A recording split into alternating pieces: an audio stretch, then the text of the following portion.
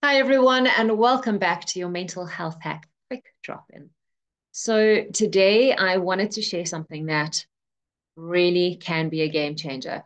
I know I've said that about a lot of these tools and insights, and truly, I mean, this is 31 days of throughout May for Mental Health Awareness Month of tools and insights from myself and my guest speakers to really help you start shifting things. And remember, you only need one thing.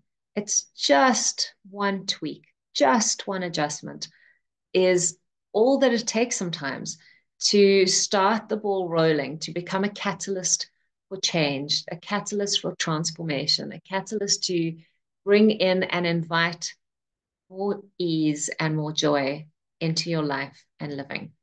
And today's one is really one that I encourage a lot of the audience when I do my keynote talks is go to gratitude.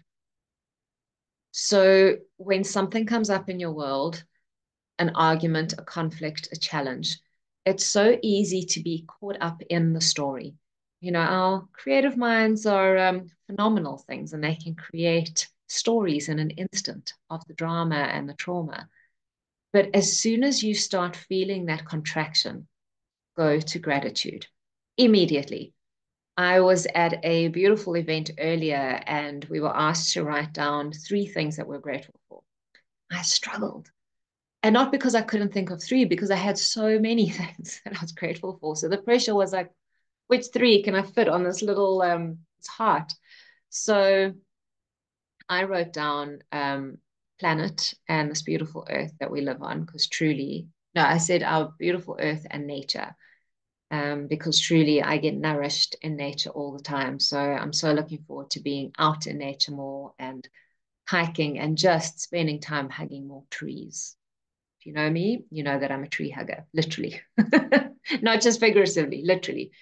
So it was that. The second one was honoring relationships which you would have heard in my previous talk as well uh, my previous video as well. And I mention that all the time. And then the third one was infinite possibilities. Because just the energy around infinite possibilities, knowing and knowing.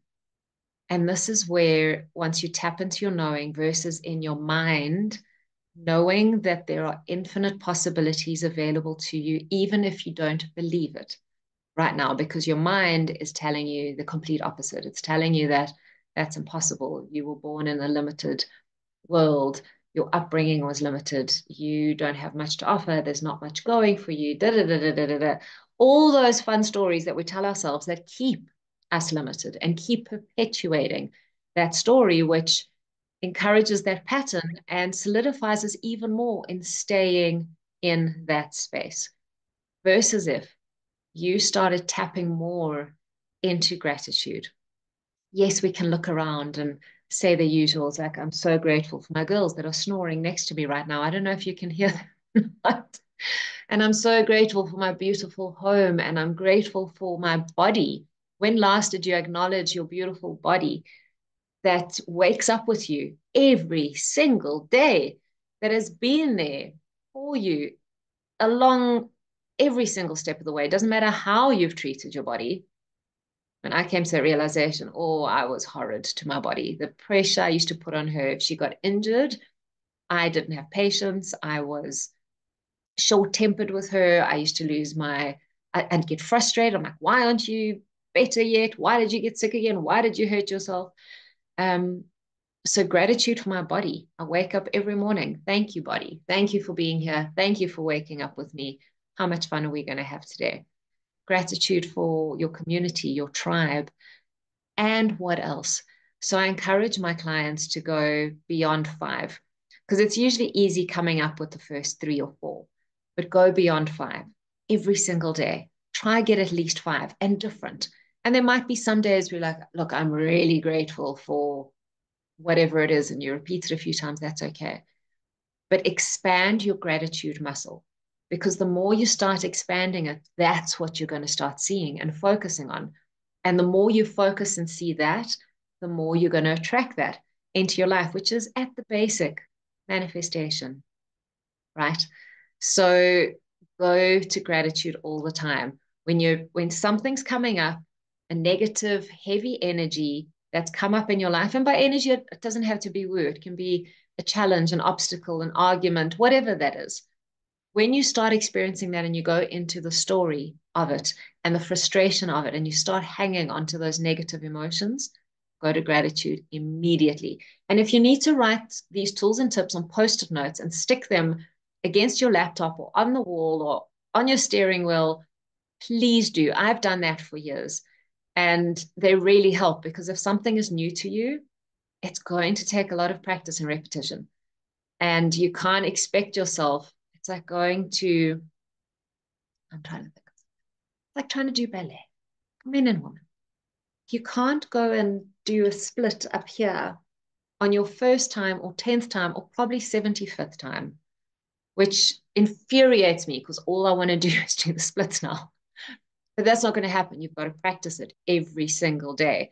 And if there's a day that you don't, you need to be gentle with yourself and have grace for yourself and not berate yourself for not doing it. And then you try again. And it's the same with gratitude. You'll forget many times. I forget. But as soon as I remember, as soon as I've got the awareness, and what helped me at first was literally write it on post it notes, you start practicing and playing that more and more and you start inviting those people into your life and living. You start inviting other experiences into your life and living because you're no longer focusing on what you do not want. You're no longer fo- focusing on what doesn't serve you. Instead, you're shifting your brain, you're shifting your mind, you're shifting your focus and your attention. Where in where focus goes, energy flows. We know that, you know, Dr. Joe Dispenza always talks about um, neurons that fire together that wire together, that fire together, wire together.